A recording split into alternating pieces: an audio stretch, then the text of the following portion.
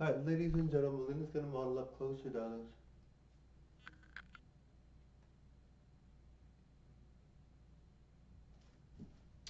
Melina's gonna be the world's greatest supermodel of the 2030s, darling. and maybe 2020s. Click that subscribe. Bye.